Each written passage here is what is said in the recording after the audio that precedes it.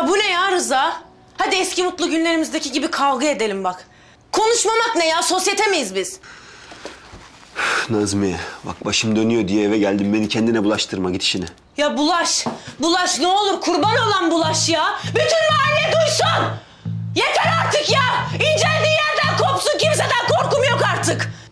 Ben halamın odasına gidiyorum.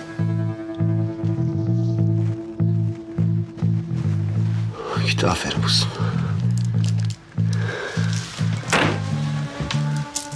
Gelelim sana. Ne istiyorsan ya? Heh, Gel, gel Rızam ya. Sen de içini dök, ben de içimi dökeyim. Şöyle doyasıya bir kavga edelim. La havle ve la kuvvet ulan. İçkim yok. Kumarım yok. Bir doktorum vardı. Ne istediniz be doktorum? Saçma sapan konuşma be. Doktorundan bir şey falan istemedik. Niye yalan söylüyorsun? İnsan gibi söyleseydin ya doktorla konuştum diye. Lan ne yalan söyleyeceğim sana yalan borcum var? İş görüşmesi yaptım demedin mi sen bana? Hadi bunu hazırlayacak vakti buldun. Şu fikirler sende nereden varmış? Helal olsun.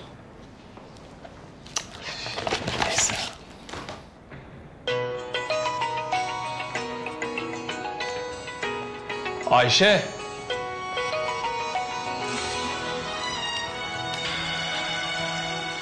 Ayşe abin ör... Düğmesi niye basmıyor ya? Rıza abi arama vallahi açamam. Hala. Alo Buse güzelim. Sen ağlıyor musun? Ne oldu? Demedin mi sen bana? Gelemez işte. Annemle babam içeride çok kötü kavga ediyor. İnceldiği yerden kopsun dedi annem. Kopmasın ne olur gelin. Tamam tamam merak etme sen. Hemen geliyoruz. Hah Ayşe. Ha telefonumu arıyordum ben de. Acil gitmemiz lazım sizinkilere. Bizimkilerim ne oldu? Yolda anlatırım. Kerem ne oldu?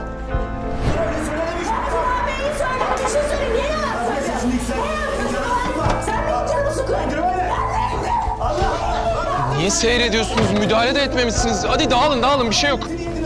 Dağılsanıza dağılın.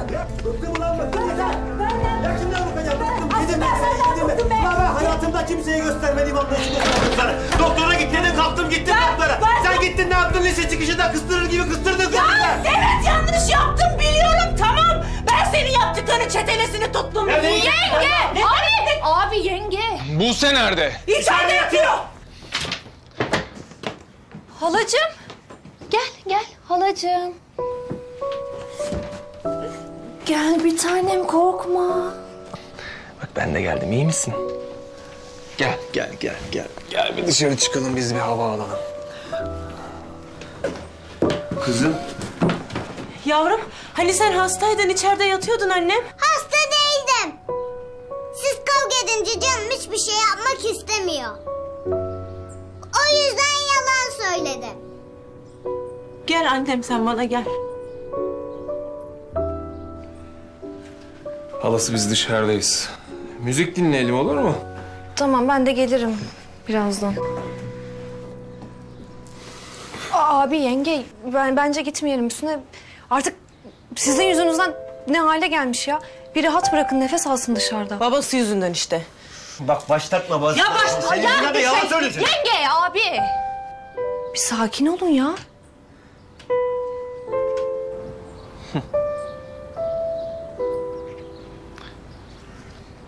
Ne oldu beğenmedin mi? Ben sana başka bir şey soracağım ama sen de doğruyu söyleyeceksin. Sor bakalım istediğini sor. Annemle babam boşanacak mı? Bizim kreşteki kızın annesi babası çok bağırmış. Ayrı evde kalmaya başlamışlar. Merak etme olmayacak öyle bir şey. Boşanma falan yok. Çıkar onu kafandan. Ayrıca her bağırmada birbirini seven insanlar ayrılacak olsa e, benim annemle babam oho 40 kere. Ama mesela ben de kirazı çok seviyorum. Hani var ya benim bebeğim. Ona bağırmam ki üzülmesin diye. Ama annemle babam birbirlerine çok kötü bağırıyor.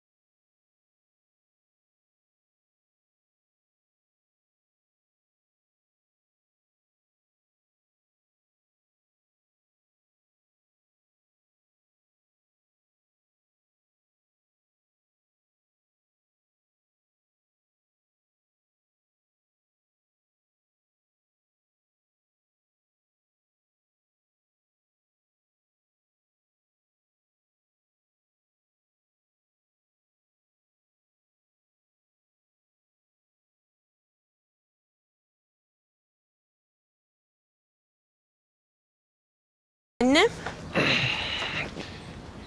Bir sakinleşsin, zaman verin. Bir şey yok ya ben konuşurum kavga etmedikleri. Rıza abi... Bakın her çocuk böyle her denileni yapmaz. Çevresinde ne görüyorsa, ne yapılıyorsa onu yapar. Yanlış anlamayın ama siz böyle bağırmaya devam ederseniz... ...o da bunun iyi bir şey olduğunu sanar. Yani sevginin böyle bir şey olduğunu sanar. Sonra büyüyünce o da böyle davranır. Lütfen onun yanında bağırmayın böyle. Ya ben hiç fark etmedim ki. Öyle olayın heyecanıyla sesim yükselivermiş yani. Abi nasıl sesin yükselmiş ya?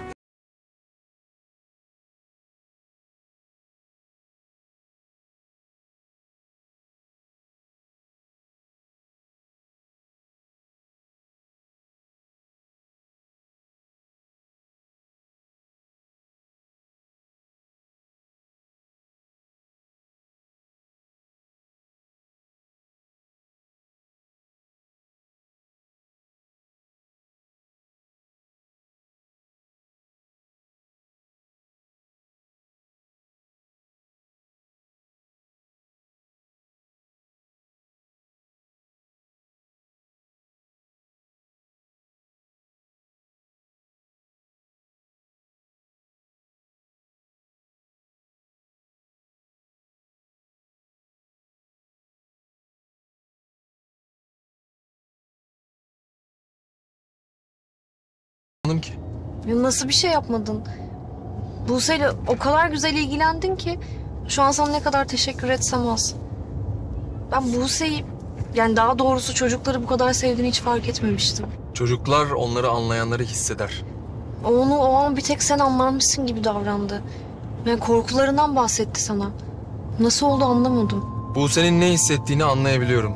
Neler yaşadığını ve nasıl sakinleştireceğimi de biliyorum. Nasıl yani anlayabiliyorum derken? Çocukluktan kalma bir manzara diyebiliriz işte. Ya bizimkiler de çok kavga ederdi. Ben de annem ya da babamı seçmek zorunda kalırsam kimi seçerim diye düşünürdüm. İşte o yüzden de kaç uykusuz gece geçirdim bilmiyorum. Muhsin amcayla Yelda teyze mi? Hiç beklemezdim böyle bir şey. Ha, tamam ara sıra atışıyorlar ama ayrılmayı isteyecekleri bir noktaya geldiklerini hiç, hiç hayal etmedim. Oo, şimdi böyle. Eskiden annemin rutiniydi eşyalarını toplayıp da... Neyse işte ben de boşanma lafını duyduğum zaman böyle nefes alamazdım. Bir nevi çocukluk korkusu işte travma. Aman işte çocuk haklı yoksa boşanınca boşanırsın ne olacak?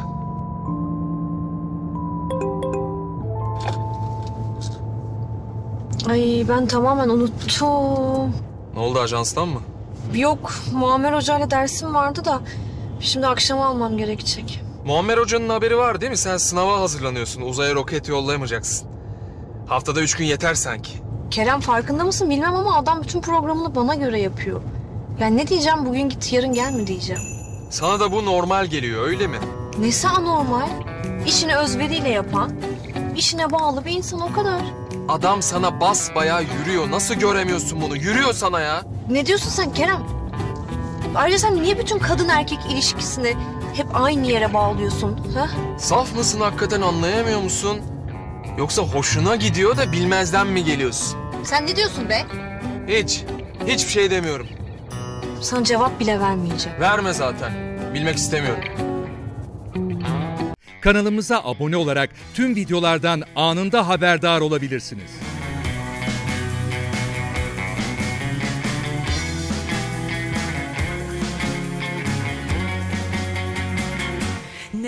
Kadar.